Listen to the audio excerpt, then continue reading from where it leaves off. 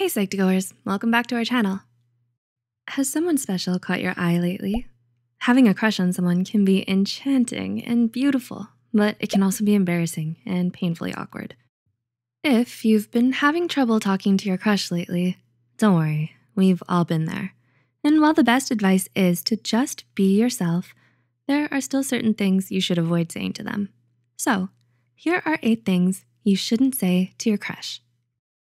One, tell them they're better than your ex.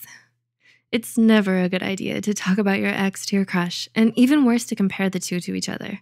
Your ex-boyfriend or ex-girlfriend is no longer a part of the picture, so it's better to keep it in the past. You may come off as petty, immature, and insensitive as it only shows that you're still bitter about your past relationship and not entirely over your ex. Two, tell them you stalk their social media. Do you creep your crush's social media? Even though it's something a lot of people do, telling them that you stalk their profile all the time may scare them off and put you on their blocked list. Even if their profiles are set up to public, where everyone can view it, you might wanna refrain from telling them how much time you spend going through their posts and stories. Three, ask them why they don't reply to you. Has your crush ever left you on when this happens, do you feel the need to pressure them into replying to you all the time? If so, they might start to think that you're needy. You might feel upset or disappointed by their lack of a response, but try to keep in mind that they may not have done it on purpose. They could have been busy, or they needed some time to come up with a cool response.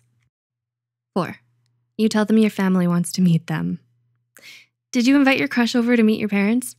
If your relationship is still in the early stages or isn't even established yet, there's no need to introduce them to your family yet. Meeting each other's family is a big step in any relationship, so they may feel overwhelmed or think you're rushing things way too quickly. Instead, you may wanna use your time to get to know each other more intimately first. Five, you ask them if they still have feelings for their ex. Do you wonder if your crush is over their ex? Well, if you ask your crush about their ex at the early stage of your interaction, it may just make you come off as nosy or jealous. Unless you've built enough rapport and trust between each other, asking them such personal questions might make them uncomfortable and defensive, and you might end up pushing them away. Six, you note down every single detail about them. While it's normal to pay attention to your crush and notice the little things about them, like the way they smile or dress. You may come off as a little intrusive and obsessive if you note down every single detail about them, like what they wore each day of the week. What might sound like a flattering mm -hmm. compliment to you might make your crush feel uneasy. Seven, you ask them if they like you more than others.